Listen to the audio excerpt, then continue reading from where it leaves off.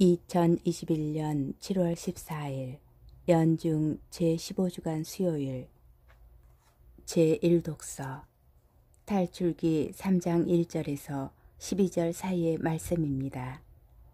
그 무렵 모세는 미디안의 사제인 장인 이트로의 양떼를 치고 있었다. 그는 양떼를 몰고 광야를 지나 하느님의 산 호렙으로 갔다. 주님의 천사가 떨기나무 한가운데로부터 솟아오르는 불꽃 속에서 그에게 나타났다. 그가 보니 떨기가 불에 타는데도 그 떨기는 타서 없어지지 않았다. 모세는 내가 가서 이 놀라운 광경을 보아야겠다. 저 떨기가 왜 타버리지 않을까 하고 생각하였다. 모세가 보러 오는 것을 주님께서 보시고 떨기 한가운데에서 모세야, 모세야 하고 그를 부르셨다. 그가 예, 여기 있습니다. 하고 대답하자 주님께서 말씀하셨다. 이리 가까이 오지 마라. 내가 서 있는 곳은 거룩한 땅이니 내 발에서 신을 벗어라. 그분께서 다시 말씀하셨다. 나는 내 아버지의 하느님, 곧 아브라함의 하느님, 이삭의 하느님, 야곱의 하느님이다. 그러자 모세는 하느님을 뵙기가 두려워 얼굴을 가렸다. 이제 이스라엘 자손들이 울부짖는 소리가 나에게 다다랐다. 나는 이집트인들이 그들을 억누르는 모습도 보았다. 내가 이제 너를 파라오에게 보낼 터이니 내 백성 이스라엘 자손들을 이집트에서 이끌어내어라. 그러자 모세가 하느님께 아뢰었다.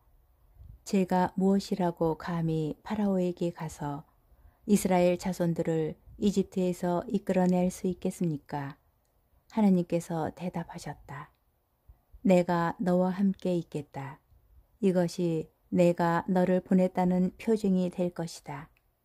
내가 이 백성을 이집트에서 이끌어내면 너희는 이 산 위에서 하느님을 예배할 것이다.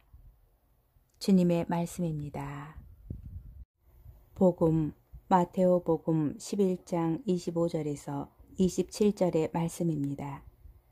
그때 예수님께서 이렇게 말씀하셨다.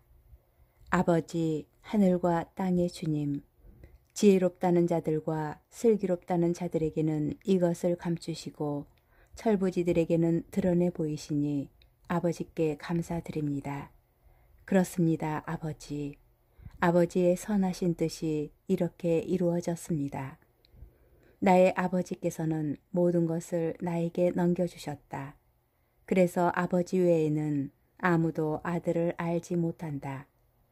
또 아들 외에는 그리고 그가 아버지를 드러내 보여주는 사람 외에는 아무도 아버지를 알지 못한다. 주님의 말씀입니다. 오늘의 묵상 사제로서 다른 사제의 강론을 듣는 것은 그리 쉬운 일이 아닙니다. 강론을 통해서 하느님을 만나고 예수님의 말씀으로 자신의 삶을 되돌아보아야 하지만 정작 가슴으로 듣지 못하기도 합니다. 재단에 올라 강론하려면 어떻게 준비하고 어떤 과정을 거치는지 이미 알고 있기 때문입니다. 성경과 교리의 내용도 오랫동안 배워왔고 신자들과 함께 지내면서 지금 무엇이 필요하고 중요한지를 나름대로 생각하고 있기에 좋은 말씀과 강론인데도 마음을 열지 못하기도 합니다. 이유는 자신이 잘 알고 있다는 생각 때문입니다. 내가 해봐서 다 알아. 왜 그 정도밖에 못해? 라며 마치 모든 것을 다 알고 있다는 듯한 태도는 대상을 있는 그대로 바라보거나 듣지 못하게 만들어버립니다. 그래서 자신만이 옳다는 오만과 편견 속에 갇히게 됩니다. 인간은 하나님에 대하여 스스로 알 수 없습니다. 하나님께서는 우리와 완전히 다른 분이시기 때문입니다. 우리의 생각과 이해와는 다른 모습으로 다가오시며 우리가 바라거나 원하는 방식으로 행동하지 않으십니다. 지혜롭다는 자들과 슬기롭다는 자들은 어쩌면 그런 오만과 편견 속에서 살아가는 사람들인지도 모릅니다. 자신이 하느님에 대하여 모든 것을 알고 있다는 오만함과 자신이 바라는 방식이 하느님께서 바라시는 방식이라는 편견으로 다른 이들의 처지와 생각을 헤아리지 않은 채 자신의 방식과 뜻만을 강요합니다. 예수님 시대에 율법학자와 바리사이들이 그러하였고 빌라도가 그러하였으며 가끔씩 베드로를 비롯한 제자들도 그러하였습니다. 편견과 선입관 없이 무엇인가를 판단하기란 어렵습니다. 아니 어쩌면 할 수 없을지도 모릅니다.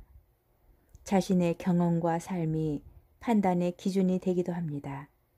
그러나 하느님을 알고자 한다면 예수님께서 말씀하신 것과 같이 철부지들처럼 받아들일 수 있도록 먼저 많이 바라보고 들어야 합니다.